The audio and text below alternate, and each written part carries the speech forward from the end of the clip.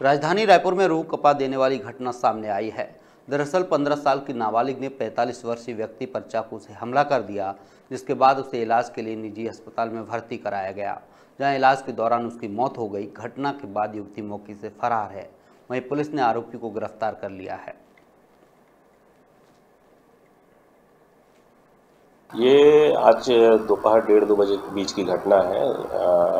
लड़की जो है अपनी स्कूटी से कहीं जा रही थी। इसमें सामने से जो घायल व्यक्ति सुदामा लगे वो अपनी साइकिल से आमने सामने हो गए दोनों, जिसको लेकर के विवाद हुआ रास्ते को देने के नाम से, और जिस पर से उक्त लड़की के द्वारा सुदामा लदेर के ऊपर चाकू से हमला कर दिया